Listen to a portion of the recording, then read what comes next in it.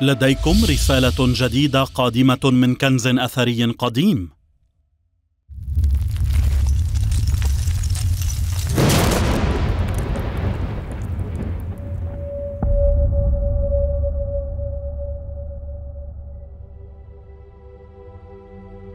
ما الذي يمكن أن تخبرنا به هذه العيون؟ تحدق فينا. منذ مطلع وجود البشر الغامض العيون المنقوشة على يشمي تسونغ العملاق في مدينة ليانغ تسو تشير إلى مشاعر الحب لدى أجدادنا القدماء. قبل خمسة آلاف عام مضت ازدهرت حضارة متقدمة في منطقة بحيرة تايهو شرق الصين. كان هناك مدن قبور هياكل. قرى. ثكنات عسكرية. أعمال الري. وورشات عمل اليشم. بدأ التنقيب في الموقع في عام 1936 وفي غضون الثمانين عاما اللاحقة كان أهم اكتشاف أسفر عنه التنقيب هو يشم تسونغ هذا. يشمت سونغ عبارة عن إناء أنبوبي موجود داخل جسم مستطيل الشكل. يبلغ وزن هذا الياشم 605 كيلوغرام وبارتفاع يبلغ 8.9 سنتيمتر ويبلغ قطر الدائرة 17.6 سنتيمتر ويعرف باسم يشمت سونغ العملاق. اكتشف داخل قبر في تل فانشان عام 1986 حدد علماء الآثار الزخرفة الموجودة عليه بأنها مخلوق أسطوري يدعى تيوتي. كانت فكرة قديمة شائعة لذا لم تعتبر في البداية ذات أهمية. أهمية كبيرة. ولكن كشف التنظيف والتصوير اللاحقين عن أمر غريب. تلك الخطوط الضيقة غير الملحوظة بجانب عيون المخلوق تبين أنها أيدي أيد بشرية. ويتبعها على نحو غير متناسق أذرع طويلة توصل إلى وجه. من الواضح أنها لم تكن نقوشات شائعة للتيوتي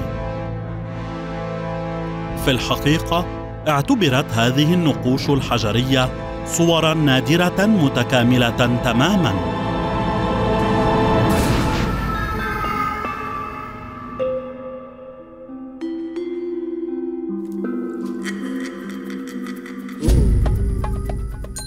تبدو الوضعيات مثيرة للاهتمام.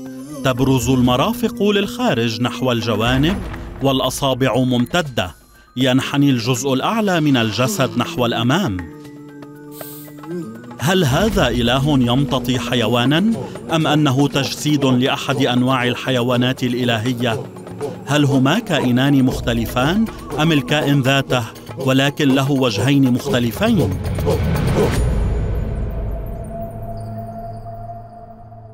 ثمة مكانة خاصة لليشم في الثقافة الصينية. تخبرنا نقوشات البرونز والعظام القديمة أن اليشم كان يقدم كقرابين للآلهة. عثر في موقع ليانغ تسو على أكثر من أربعين نوعا متعددا من أواني اليشم لكن لم يعثر على العناصر التي كانت تحمل صورة آلهة الحيوان سوى في أفخم القبور. ربما الكهنة كانوا مدفونين هناك. والإناء المحفور عليه الصورة الكاملة لإله بوجه حيوان قد يكون الأمر المقدس الناتج عن التفاعل بين شعب اليانغ تسو والإله.